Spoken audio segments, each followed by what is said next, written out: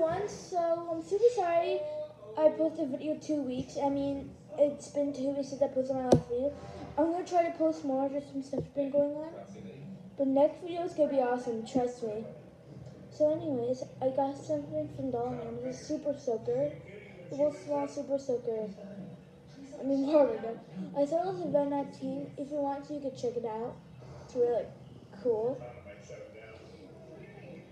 And like, it, says it's 10 feet. Let's see. I fill up. Let's see. Oh, it actually hit. Let's see again.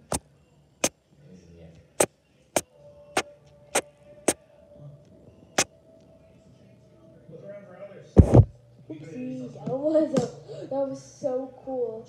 You get this at Dollar Layman. If you don't, if you don't have it, maybe you can order it.